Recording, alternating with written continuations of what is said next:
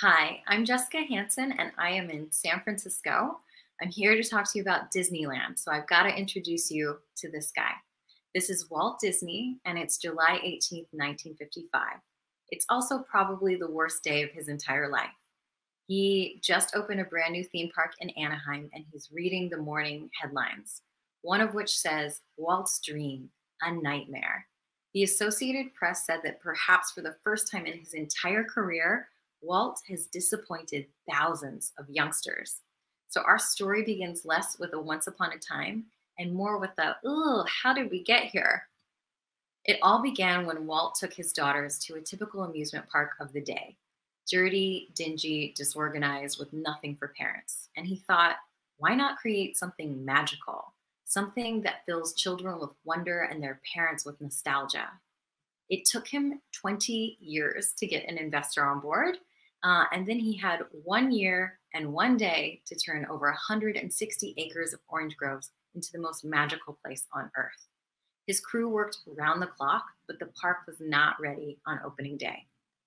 That did not keep people from lining up at 2 a.m.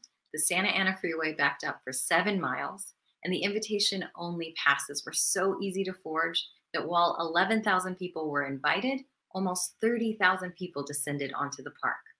It didn't help that a guy out back was charging people $5 to climb his ladder to scale the fence. Once inside, the asphalt of Main Street had just been poured at 6:30 a.m. and it had not set under the baking sun.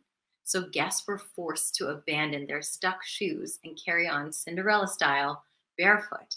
Then there was a massive gas leak near Sleeping Beauty's castle, which erupted into flames, meaning half the park had to be evacuated.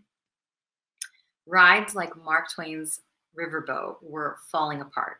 Literally, pieces of it fell and hit a senator in the head. The boat nearly sank and then it almost capsized. Parts of the park, like Tomorrowland, were so unfinished that in desperation, Walt asked companies to use it to advertise their future products. That meant instead of a functioning rocket simulator to the moon, Kids instead got Crane's Toilet of Tomorrow. Only 18 rides had been deemed ready for opening day, but of those, half broke almost immediately, and the other half were dealing with massive power outages. So the lines for the few functioning rides were hours long. People started to hijack ride vehicles from each other, climb over fencing, and scale the castle walls. An employee said, I've always wondered how no one got killed. Tempers flared as temperatures soared between 100 and 110 degrees, and the park offered little shade and no water. A plumber strike had meant that the crew had to choose between functioning toilets or functioning water fountains, to which Walt had famously said, they can buy Pepsi Cola, but they can't pee in the streets. But unfortunately, with three times the expected number of guests, the vendors ran out of food and drink very quickly, leaving people gasping for water at first aid the whole thing was televised as, well. It was the largest live broadcast in history at the time. 70 million people tuned in, almost half the US population, and it was a train wreck. The hosts were described as underprepared and unrehearsed, and one of them was caught on camera kissing a Disney dancing girl that was definitely not his wife. The press called opening day Black Sunday, and they predicted a very quick demise for the park.